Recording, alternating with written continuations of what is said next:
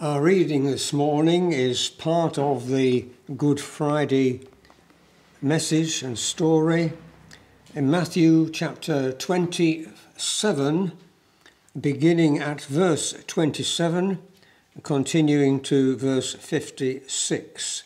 Matthew 27, 27 to 27, 56. Father, we thank you for your word.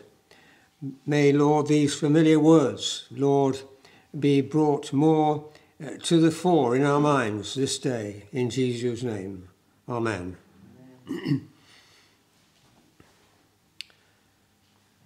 then the soldiers of the governor took Jesus into the praetorium and gathered the whole garrison around him. And they stripped him and put a scarlet robe on him. When they had twisted a crown of thorns, they put it on his head and a reed in his right hand. And they bowed the knee before him and mocked him, saying, Hail, King of the Jews!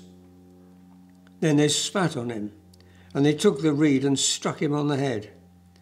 And when they had mocked him, they took the robe off him, put his own clothes on him, and led him away to be crucified. Now, as they came out, they found a man of Cyrene, Simon by name. They compelled him to bear his cross. And when they had come to a place called Golgotha, that is to say, place of a skull, they gave him sour wine mingled with gall to drink.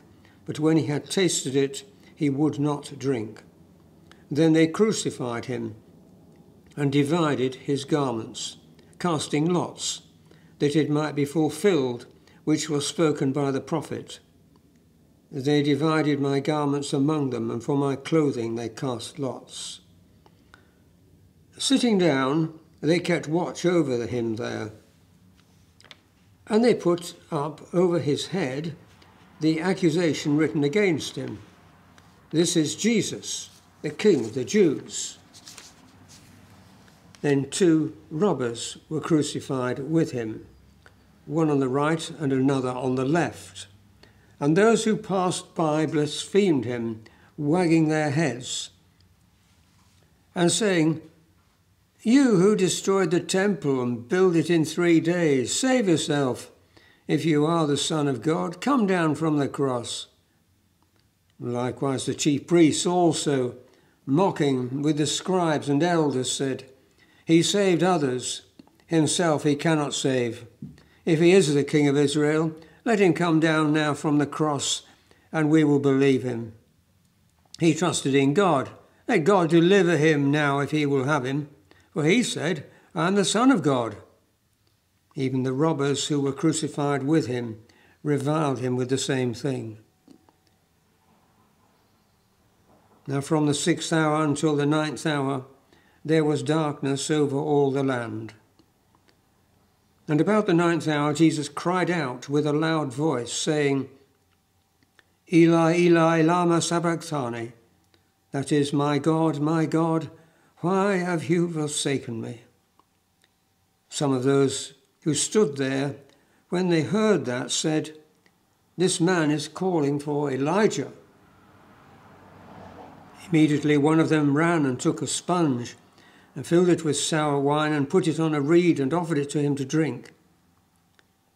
And the rest said, Let him alone. Let us see if Elijah will come to save him. And Jesus cried out again with a loud voice and yielded up his spirit. Then, behold, the veil of the temple was torn in two from top to bottom and the earth quaked, and the rocks were split, and the graves were opened, and many bodies of the saints who had fallen asleep were raised. And coming out of the graves after his resurrection, they went into the holy city and appeared to many. So when the centurion and those who were with him, who were guarding Jesus, saw the earthquake and the things that had happened, they feared greatly, saying, Truly, this was the Son of God.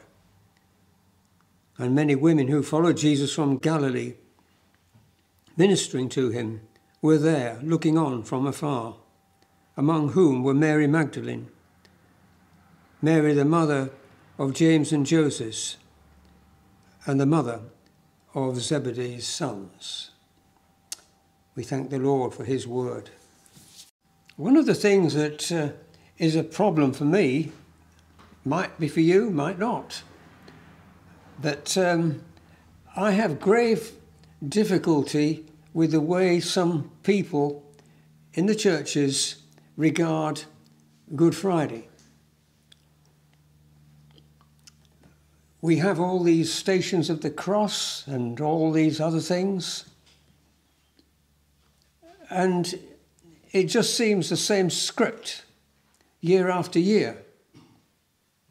And I think it's a great shame because to me, the Bible is ever new. And what we are looking at is God's Word. And if the Bible is ever new, then every time we read it, we should be getting something out of it.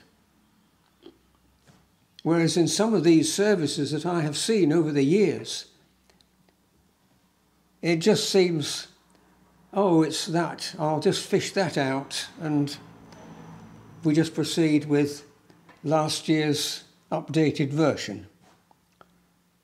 And you just wonder what people do actually get out of it. I've entitled what I want to say something which is based on something that was said uh, to Pat and I by a very fine Christian who had a problem with Good Friday.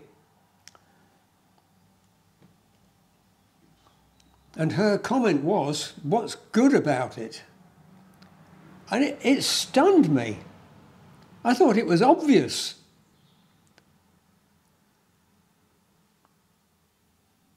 So, my title today is What is Good about Good Friday?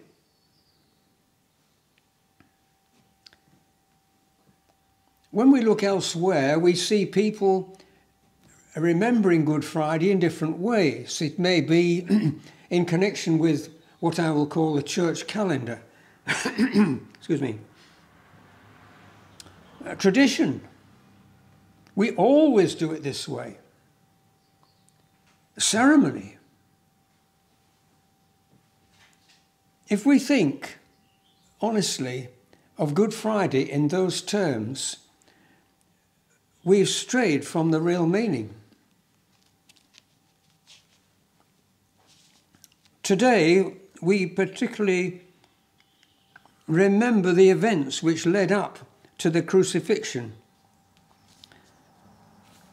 or execution, as we could call it, of Jesus, our Messiah,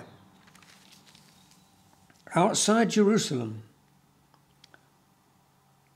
all those years ago. But there's something that we need to remember. Like all things concerning Jesus, it's very difficult to talk about them in isolation. You see, if he hadn't come in the way that he did at Bethlehem, and I don't just mean being born in the stable, I'm talking about the virgin birth. That alone is crucial to our understanding of who Jesus is. But it wasn't the only thing. Because the other important events that took place during his 33 years of life are crucial to our understanding of Jesus. Perfect God and yet perfect man.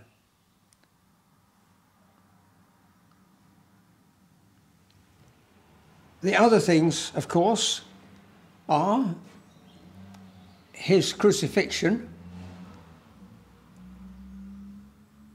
because without his crucifixion, there couldn't have been a resurrection.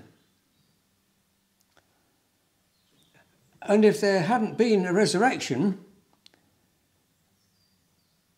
there wouldn't have been the ascension. And if there hadn't been the ascension, he wouldn't be coming again. Because he wouldn't have been coming the first time after all that. So we see this sequence of events. And whilst we may not be actually talking about them, it's important that when we think about any particular part of it, we look at it, as it were, within the overall picture. I'd like to just give you a little example. It happened over 40 years ago at work.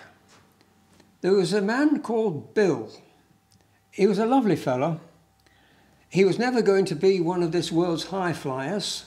He was one of what we call the salt of the earth. He came a long way to work. His home was at Wellingborough in Northamptonshire. I can't remember Bill ever being late. He worked hard. I hadn't any complaints at all. And on top of that, he was one of the most polite people you ever met to staff and customers. One day, he came up to my desk, which was just across from his, and he said to me, Could you spare a minute? I said, Yes, sure. And he asked me a question, a technicality regarding the banking. And I gave him what was just, if you like, a, a quick answer. Thank you very much, he said. Off he went.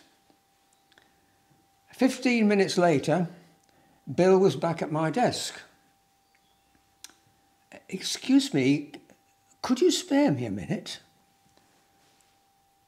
I said, Yes, of course.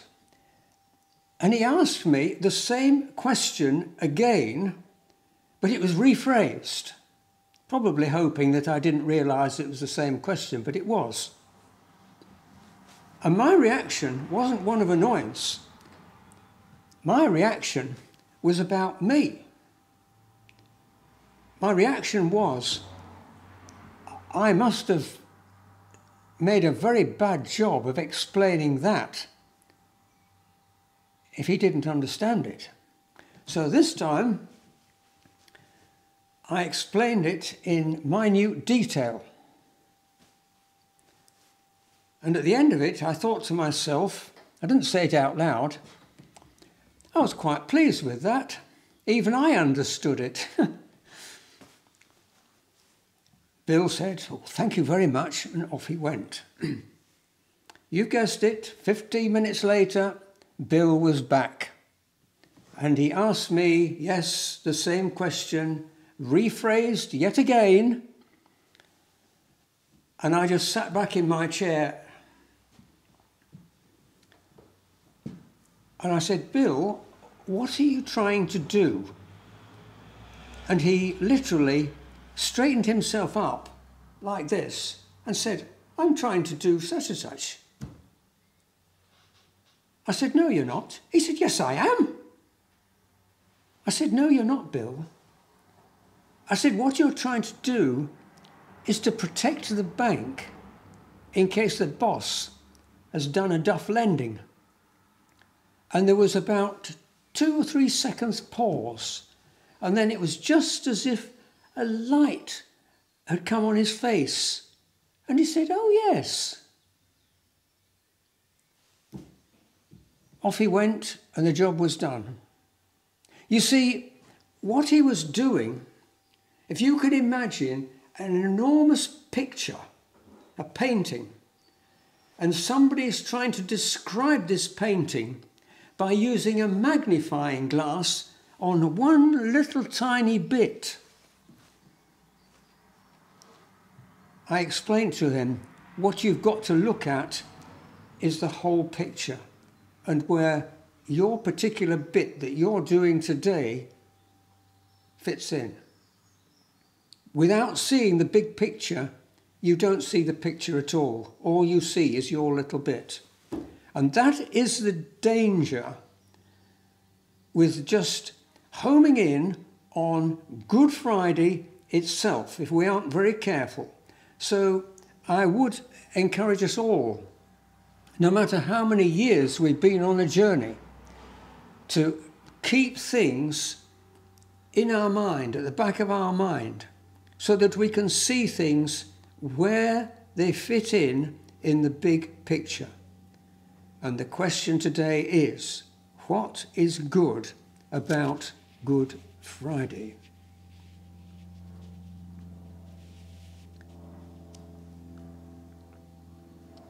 As I said, the teaching concerning Good Friday, together with all those other things that I mentioned, are essential, uh, fundamental parts of the Christian message. They are not optional as regards our relationship with God. We cannot pick and choose, awful as Good Friday was. So there are just a, a few things I would particularly like to draw to our attention. Firstly, without Jesus dying on the cross, paying for our sins, we could not have been forgiven by God. It's as simple as that. We're used to seeing in our day special offers time limited, once for all. Let me tell you, Jesus was all that. It was a once for all sacrifice on the cross. And its time limit, yes, our life. It's no good people thinking they're going to turn up at some pearly gate and try and persuade St. Peter looking over there to uh, let you in. The decision is made in this life, and we have to always remember that. There is no another chance after the grave. Secondly,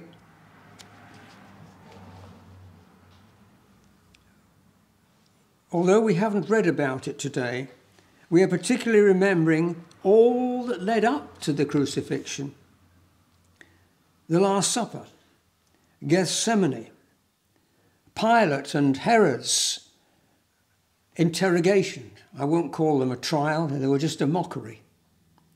The treatment given by the soldiers that we read about, the insults from the Jewish religious leaders who should have known better. And what was going on? Behind it all was the Jewish leaders' determination to kill Jesus. Now, I want us to remember that. They didn't just want to stop him preaching a message, the time had passed for that. They wanted to kill him. The Bible says they wanted to kill him. They wanted any opportunity they couldn't find a legitimate one, so they came and had a trumped up one. That is how evil the religious leaders were.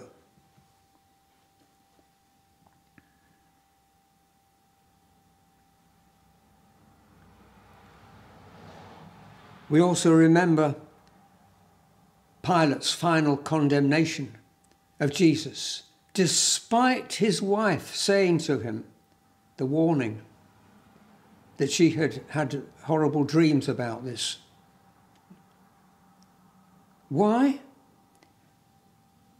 The Bible doesn't tell us, but the Roman records do, that Pilate was almost on probation because he'd uh, messed things up elsewhere and he'd been sent to this eastern outpost of the Roman Empire and uh, he was supposed to be trying to um, keep the place in order.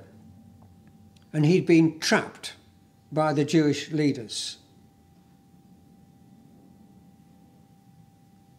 And he had a choice to make, and he made the choice.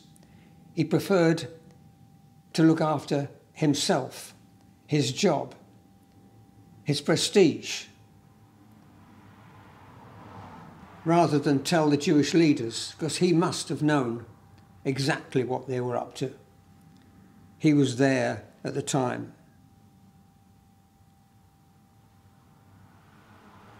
And following the crucifixion and Jesus' death,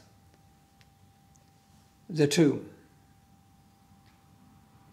That is where the story, as it were, ends today. But let us look at this.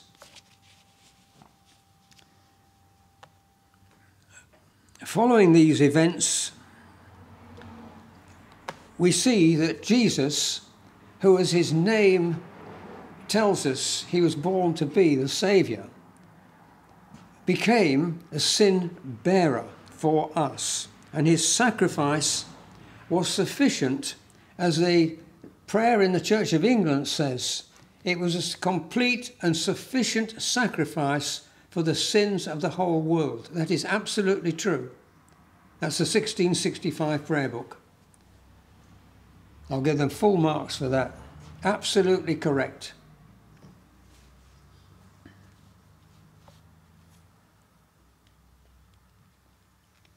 But, and there's a big but, and that is, although the provision is made for all the sins of all the people of all time. It would only apply to those who accepted Jesus' sacrifice.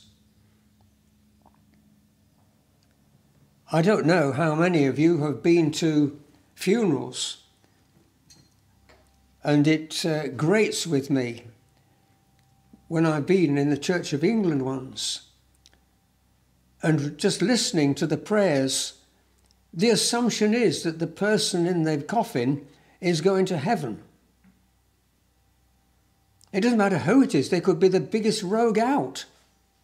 But let's get this quite clear that the provision that Jesus made to cover all sin of all time for all people only applies if we are, as Jesus said to Nicodemus, you must be born again.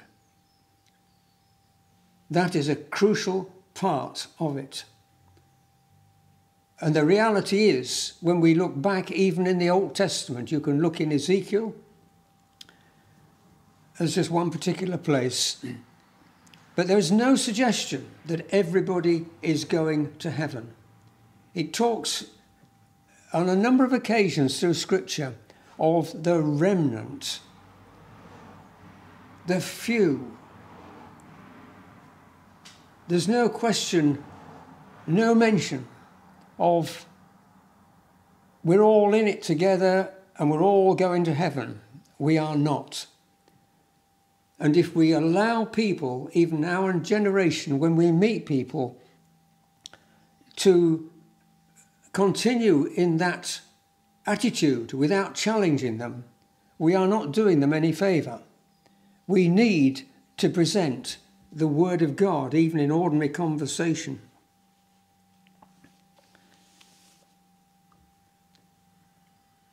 Only to those who confess their sin and repented and accepted Jesus' sacrifice would benefit from Jesus' sacrifice.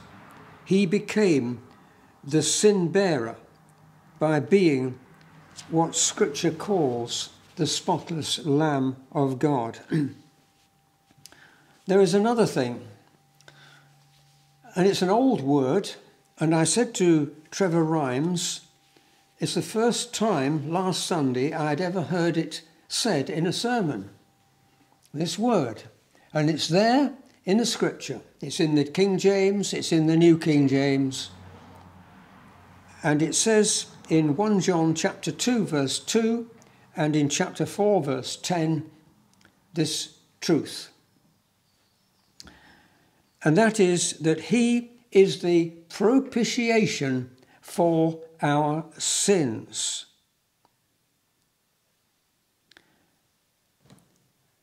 Now, we use another word, atonement.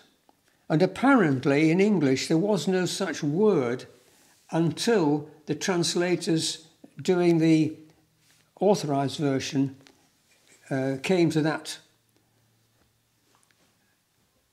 And they had to make a word or phrase, and they settled on a word atonement. And it actually means at one. We are made at one with God, unified again with God. Propitiation is an old word, and it doesn't just apply to the Bible. If I upset any of you, and I think afterwards, oh dear, I've upset them. Oh dear, what shall I do? I know what I'll do. And I take a little present and I go to them and I say, I'm sorry I upset you.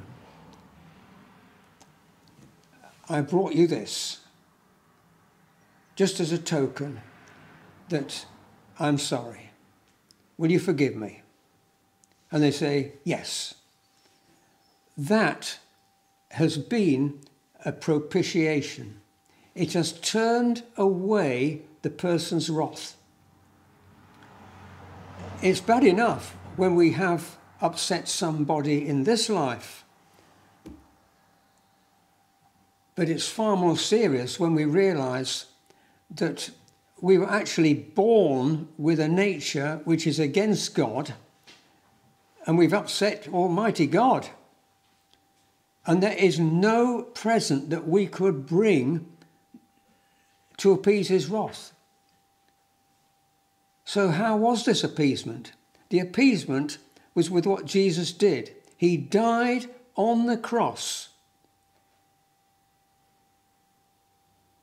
You see, he paid the debt that we owed. In a sense, we couldn't pay the debt. But the reality is, all sin has to be paid for. Hell was never designed for believers. It was designed for the devil and his fallen angels. And that's where unrepentant sinners end up. It's as simple as that. The gospel message is a very, very simple one.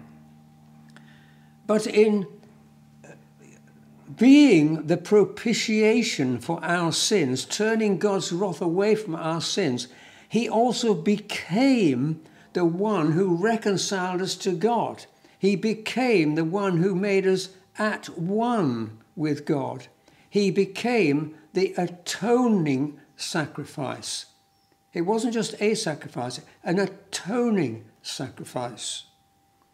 And it's important that we recognize this. He paid our debt. We are forgiven. We are reconciled to God. And God's wrath has been turned away from us. When Jesus died, his disciples, to say the least, were disillusioned, bewildered, and uh, we do have accounts of them going back to their jobs, as it were. All their hopes had just vanished. And when we read of the account of the disciples going to Emmaus and a stranger coming alongside, it's very interesting to read what the, the comments were. We'd thought that he would be the one to deliver us. But the problem was the people, including the disciples, had got a skewed idea of Messiah. Them, the Messiah they basically wanted was someone to get rid of the Romans and give us our country back. They failed so often, particularly the ordinary people who were quite happy to take part in the miraculous feeding of the 5,000, the 4,000, to see people healed. They were quite happy for that. But were they prepared to accept him as their Lord and Master? And that is the big question for all of us. But there's another thing about Jesus dying on that cross.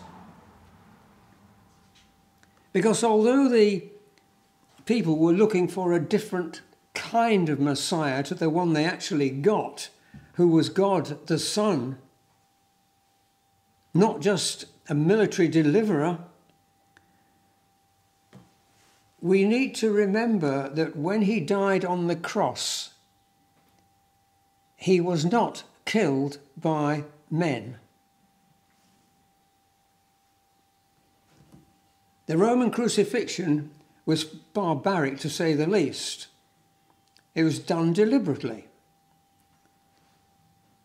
It was normally take a long while, and even in the account of what happened at that time with Pilate. He was surprised with Pilate that Jesus was already dead.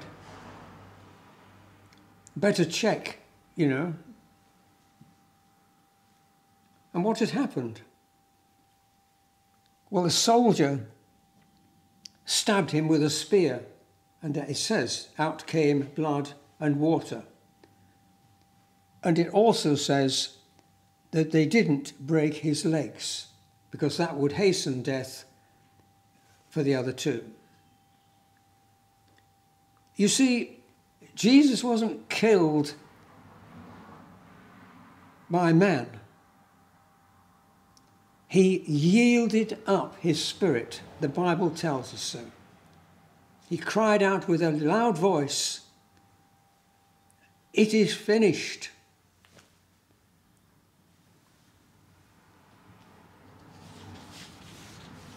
There's somebody else who was uh, obviously looking on.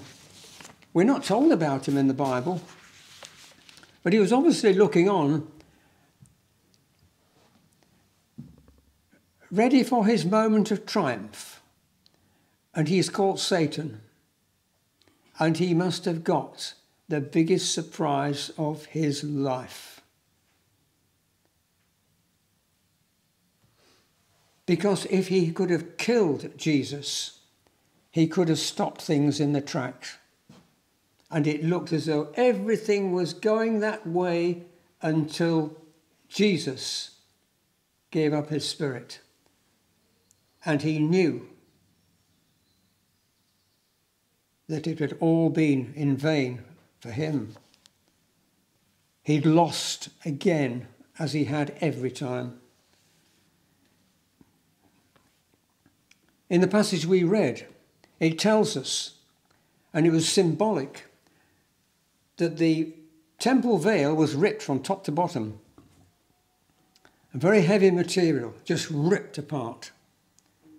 It also tells us that there were those people who came up out of the graves. What the people of Jerusalem must have thought, I wouldn't even like to imagine. These people just walking around, the earthquake. The only thing that we know was an actual reaction is quoted in that passage when the Roman soldiers said,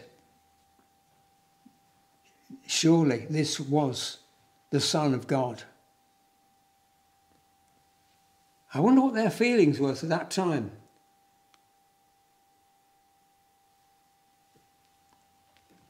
Jesus had come as Saviour.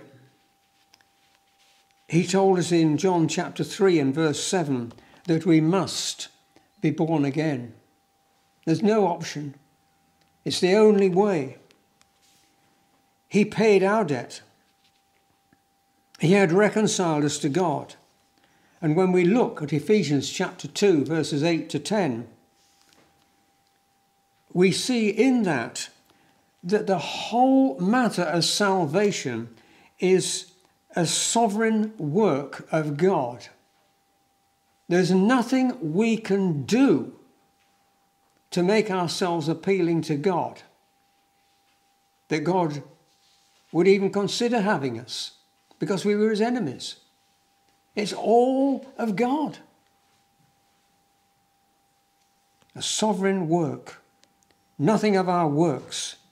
It's purely by grace through faith, not of works. And finally, today, I would just like to mention we must always keep in mind when we are talking to people, when we are reading God's word, that this salvation is the only way to be right with God. It isn't a way, it is the only way. And it is only available during our earthly life, whether that be long or short. It is the only way, and it is God's way. And it is up to each person who hears the gospel to believe, to accept. No one can do it for us. It can't be done by proxy. We have to come individually, personally, to accept God's offer of mercy. His divine act, His grace, and His mercy. As I said, the question was asked of us some years ago what's good about Good Friday? Well, it was a terrible scene God the Son dying on a cross. Well, it was good because through it, the crucifixion and the resurrection, we can be made right with God. God's offer and grace and mercy are still available to us today. We don't know what the next moment holds. But at the moment, His grace and mercy are still here, available to all those who will submit and accept Jesus Christ as Lord and Saviour. That is the good news that all who accept Jesus as their Lord will be forgiven.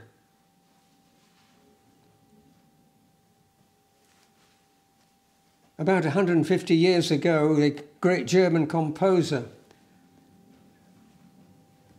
we call him Richard Wagner, he wrote an opera called Tannhäuser. And it's typical of some of the things that he wrote, which were based on what we call Christian legend. In other words, it's typical Roman Catholicism. And it has a man, we describe him as a playboy. And he comes to realize just how bad he is. So he decides he'll go to Rome and see the Pope and confess what he's done and have forgiveness. And he gets to Rome and he sees the Pope he tells the Pope all that he's done, and the Pope says, You're too bad. Can't forgive you. And he comes away completely devastated. He's obviously destined for hell. So he decides he might as well go and enjoy life even more the same way that it was before. Let me tell you, friends, that isn't true with Jesus. No matter how bad somebody has been in the ordinary mortal life, Forgiveness is the same. There's no different standard. It's a complete forgiveness. The Bible describes it as being as far as the east is from the west. It's complete. Someone described it as God puts our sin in his forgettery. To be remembered no more. We are forgiven. Hallelujah. If we surrender our life to God, accept Jesus Christ as Saviour, that is what it is all about. Jesus did it. That's why today we remember Good Friday.